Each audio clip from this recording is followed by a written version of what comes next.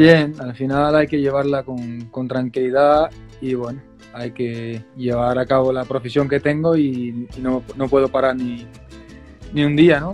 Y bueno, esperamos que, que, todo, que todo esto se resuelva lo más pronto posible y, y ya está.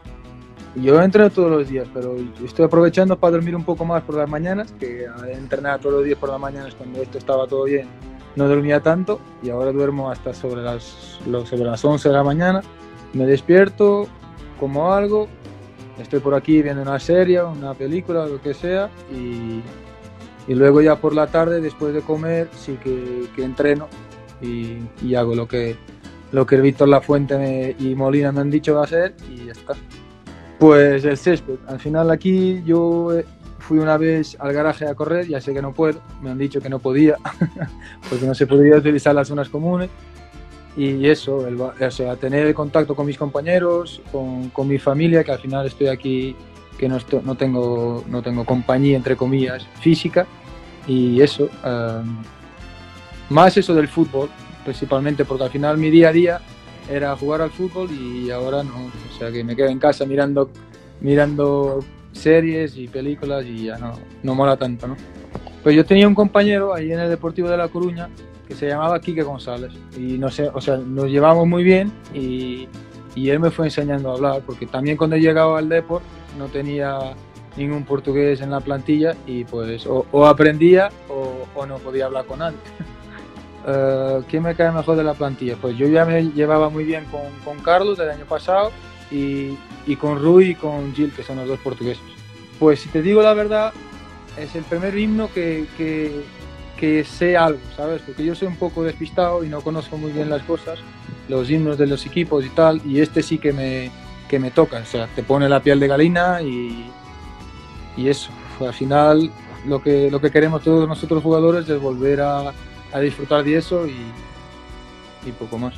Pues la Alhambra, sí, he ahí con mi familia y me gusta mucho. Y al final el ambiente de la ciudad es una ciudad joven y que tiene siempre ambiente y que y su gente también muy bien. Cada vez que se te acercan en la calle, pues muy educada, muy, muy, muy positiva. Yo creo que eso es lo más, lo más importante. Pues uno de los mejores días de mi vida. No me lo esperaba porque al final fue una convocatoria, o sea, después de la convocatoria, porque se había lesionado un compañero y bueno, ahora solo, solo pienso en volver ahí y que pueda debutar, que no he llegado a debutar y, y a ver si, si puedo. Al final no, la Eurocopa no se va a jugar este año, pero se juega en el siguiente. Así que no pasa nada, ya veremos si, si puedo ir o no.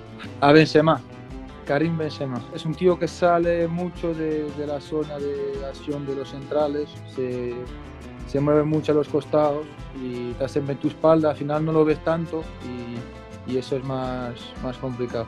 Es que no puedo, no puedo decir mucho más, ya, ya han dicho todo.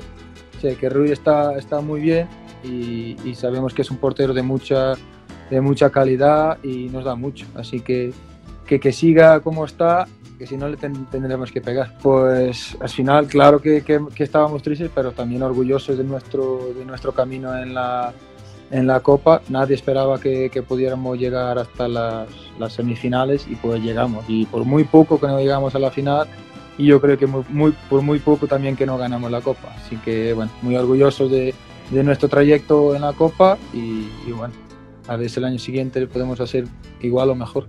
Pues que sabíamos que, que no hacía falta hacer nada más que nuestro trabajo porque lo de la afición ya estaba, ya estaba más que hecho. Nos han dado un plus de, de motivación, de todo y bueno, y se ha visto, ¿no? Hemos, nos hemos puesto por delante por, por dos goles y por muy poquito que no, que no, no, no hemos podido llegar a la, a la, final. Un entrenador que me marcó mucho fue José Lima, fue cuando me fui yo al Sporting de Lisboa, y, y otro también, um, Luis Castro.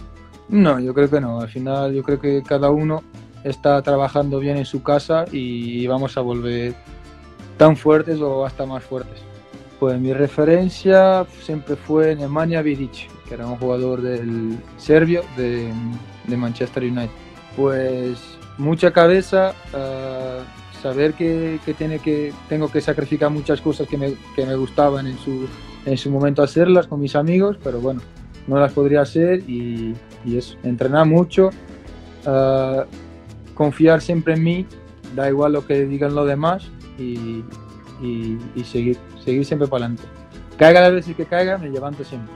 Yo empecé de muy joven jugando ahí en Cascais, en donde, de donde yo soy natural.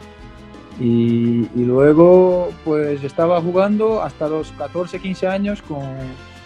O sea, jugaba porque estaba con mis amigos y no, no quería mucho más del fútbol, ¿sabes? Pero a los 15 años, o sea, me he fijado que, que a lo mejor podría, podría, podría ser profesional y pues fui, a por ello y, bueno, aquí estoy muy contento de, mi trayectoria y, no, no, pienso parar por aquí.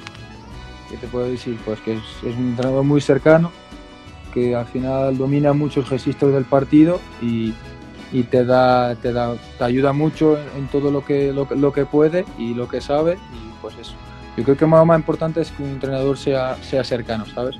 Y, que sepa de fútbol, o sea, que si está aquí toda la gente sabe de fútbol. Pero en su caso, en su caso sabe mucho, como te había dicho, domina muchos registros del, del partido y, y, pues eso no, no te puedo decir mucho más.